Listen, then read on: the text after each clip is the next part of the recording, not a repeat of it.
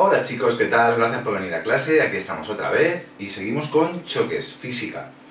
Eh, este ejercicio me lo ha puesto Kevin en YouTube, así que para Kevin en particular y todos los únicos, choque elástico. Me dice que tengo una bola de acero que choca contra un bloque que está inicialmente en reposo de un kilo. La velocidad inicial de este bloque será cero. ¿De acuerdo? La velocidad inicial de la bola serán 5. Vamos a llamar a esto eh, cuerpo 1 y a esto cuerpo 2. Y así esta será la velocidad inicial del primero y esta será la velocidad inicial del segundo. ¿Vale? Seguimos con el ejercicio. Me dice que el coeficiente de rozamiento, nu, como el logotipo de únicos, entre el bloque y el suelo es de 0,2 y que después del choque este bloque recorre hasta pararse 2 metros. ¿De acuerdo? Entonces, este ejercicio combina dos cosas. Una, lo que sucede inmediatamente en el choque, que tiene que ver con choque elástico e inelástico, y otra parte del ejercicio, otra parte del movimiento que va a ser un movimiento rectilíneo uniformemente acelerado. ¿De acuerdo? Conocemos la velocidad inicial que va a tener el bloque después de recorrer 2 metros, pero no será la velocidad que tenga el bloque justo después de chocar. Entonces ahí está el problemita del ejercicio. Entonces lo primero que vamos a hacer es utilizar las fórmulas del movimiento rectilíneo uniformemente acelerado para plantear esta ecuación. Velocidad final al cuadrado igual a velocidad inicial al cuadrado más 2 por la aceleración y por el espacio. Es una de las tres fórmulas que se suele utilizar, además de esta y además de esta. Bueno, aquí me he comido el espacio inicial, pero normalmente el, normalmente el espacio inicial es cero. De estas tres voy a utilizar esta de aquí porque tengo velocidad final y, olvidaros del choque ahora. Solo nos vamos a centrar en lo que ocurre justo después de chocar hasta que se para. Velocidad final del bloque al final del movimiento, del rectilíneo uniformemente acelerado. Va a ser cero. La velocidad inicial del bloque al principio del movimiento rectilíneo uniformemente acelerado será la que tenga justo después del choque. Así que nos va a venir genial después. ¿Vale? Más 2 por la aceleración, que no la tengo y ahora veremos cómo la calculo, por el espacio que va a recorrer en el MRUA, que es de 2 metros. Y no he puesto la aceleración porque hay que calcularla, para eso tengo el coeficiente de rozamiento. Y planteo el típico ejercicio en el que hay fuerzas, no tenemos ninguna, este cuerpo se mueve hacia adelante, no tenemos ninguna fuerza que tire del cuerpo, simplemente va a ser impulsado por culpa de este choque y durante el movimiento solo va a actuar esta fuerza, que es la fuerza de rozamiento.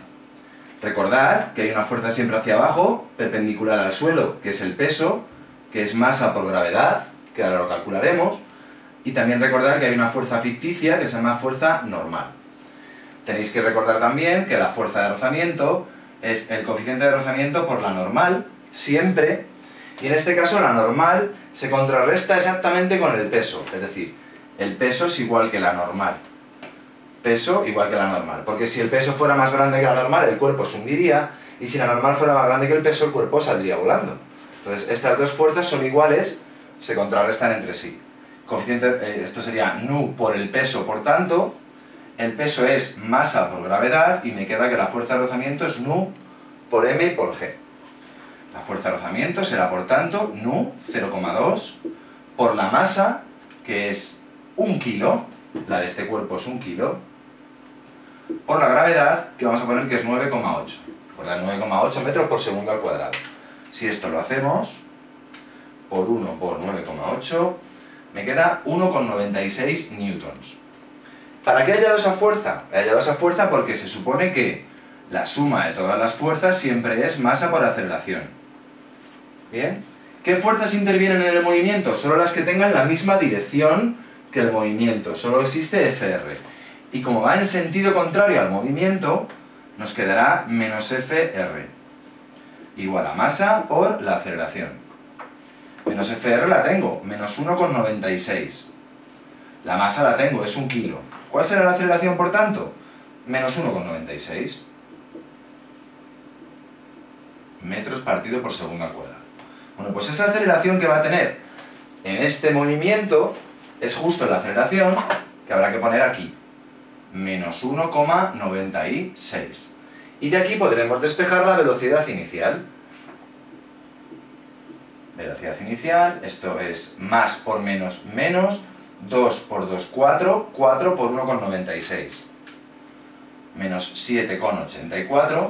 El 7,84 que está restando le voy a pasar al otro lado, sumando. Y siempre que tengo una incógnita al cuadrado es un número, esa incógnita será la raíz cuadrada de ese número. Hacemos la raíz cuadrada de 7,84. Y me da 2,8 metros por segundo. Y esto es muy importante, porque esta velocidad inicial de 2,8 metros por segundo, que es la que tiene justo aquí, es justo la velocidad que tiene inmediatamente después de chocar.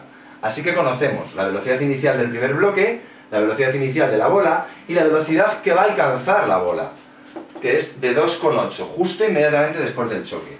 Conocemos, por tanto, la velocidad final del el bloque, que es 2,8 metros por segundo. Y con eso podremos hacer cualquier tipo de operación relativa al choque. ¿Entendéis la primera parte del ejercicio? Espero que sí. Es lo único, la, la mayor complicación que tiene. Esto ya lo borramos, no me hace falta. Esto no me hace falta. Y nos vamos a centrar ahora en que es un choque elástico. Si es un choque elástico, hay un vídeo de choques, ¿eh? Chicos, choque elástico únicos, y hay otro ejercicio de esto. Se cumplen dos cosas. Por un lado, que la energía cinética inicial del sistema es igual que la energía cinética final del sistema, que también se puede poner como que el incremento de la energía cinética es cero, o la energía cinética es constante, se puede poner de muchas maneras, ¿vale? Y también tenemos que por ser elástico, la cantidad de movimiento inicial, no confundir la P con el peso ni con la presión, ahora os digo lo que es, es igual que la cantidad de movimiento final. También se puede decir que la cantidad de movimiento es constante o que el incremento de la cantidad de movimiento es cero. ¿De acuerdo? Bueno, cantidad de movimiento o momento lineal. Es una magnitud vectorial que resulta de multiplicar la masa por la velocidad. ¿De acuerdo? Importante. Como solo se mueve en una dimensión, en el eje X, vamos a poder prescindir de los vectores porque no se mueve para nada en el eje Y ni en el eje Z, porque no estamos en tres dimensiones. Solo se mueve en un eje, en el eje X, y por tanto voy a prescindir de los vectores y nos vamos a centrar exclusivamente en la coordenada X de la velocidad y del peso y del movimiento lineal, ¿de acuerdo? Por eso vamos a pasar de los vectores, si no, habría que hacerlo con coordenada X y con coordenada Y. El primer vídeo que grabé de choques precisamente se hace de esa manera, ¿vale? Con vectores. En este caso, vamos a decir que la cantidad de movimiento ya no es vectorial, porque estamos trabajando solo en el eje X, en un eje, en una dirección nada más. Bien, cantidad de movimiento inicial del sistema. La cantidad de movimiento inicial del sistema será la cantidad de movimiento inicial del primero más la cantidad de movimiento inicial del segundo, que será la masa del primero por la velocidad inicial del primero más la masa del segundo por la velocidad inicial del segundo. Masa del primero, el bloque, un kilo, por velocidad inicial del primero, está parado, es cero, más masa del segundo, la bola, no la sé, me la piden en el apartado B, por la velocidad inicial del segundo, de la bola, 5. 1 por 0, 0, 5 por M2, 5 M2. Esta es la cantidad de movimiento inicial del sistema. 5 por la masa de la bola. Vamos con la cantidad de movimiento final. Cantidad de movimiento final del primero más cantidad de movimiento final del segundo. Esta será masa del primero por velocidad final del primero más masa del segundo por velocidad final del segundo. Masa del primero, el bloque, 1 kilo, por velocidad final del primero, la que hemos hallado antes, 2,8. La velocidad final del primero, 2,8, es la inicial del movimiento rectilíneo uniformemente acelerado. ¿Bien? Más. Masa del segundo, la bola, no la sé, por velocidad final del segundo, tampoco la sé. Fijaros que tengo, me queda 2,8 más m2 por vf2. Y tengo dos incógnitas, ¿vale? Velocidad del bloque después del choque, ¿de acuerdo? Esa ya la he calculado, y masa de la bola. no tengo nada más, perfecto. Tengo dos incógnitas, pero no sé la velocidad final de la bola, con lo cual no puedo hacer nada. ¿Por qué? Porque al igualar una con la otra, me queda que 5m2 es lo mismo que 2,8 más m2 por vf2. Ecuación. Una ecuación con dos incógnitas. Tengo un problema. Ya hemos planteado, hemos sacado la ecuación de esta. Vamos a sacar una ecuación ahora de esta de aquí. ¿De acuerdo? Vamos a borrar. Esto lo voy a poner aquí apuntado. 5m2 igual a 2,8 más m2, velocidad final del segundo. Una ecuación. Y borramos todo esto. Nos vamos a centrar ahora en las energías cinéticas. Y ahí vamos. Energía cinética inicial del sistema será energía cinética inicial del primero más energía cinética inicial del segundo. Fórmula de la energía cinética, os la recuerdo. Un medio de la masa por la velocidad al cuadrado.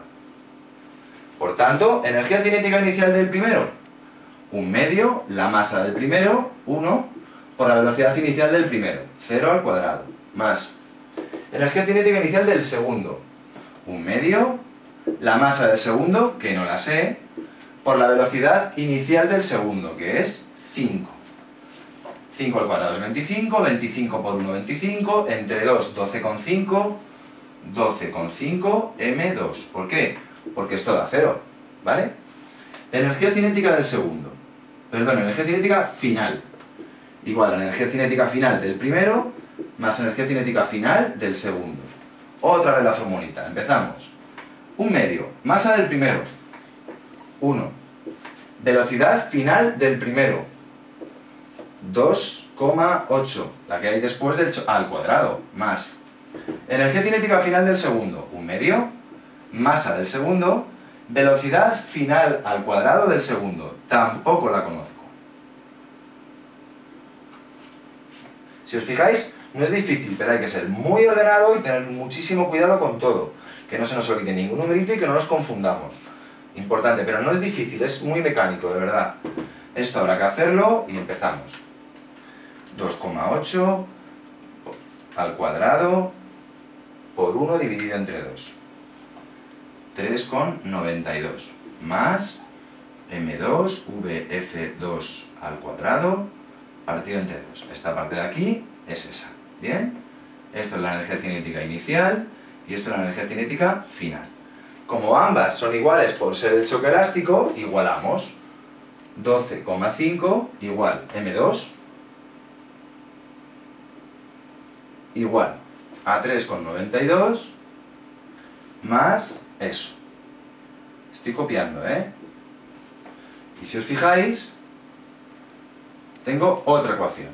Una ecuación con, con dos incógnitas, otra ecuación con las mismas incógnitas. Tengo dos ecuaciones con dos incógnitas. ¿Cómo se hace? Ya es matemáticas. Igualación, sustitución o reducción.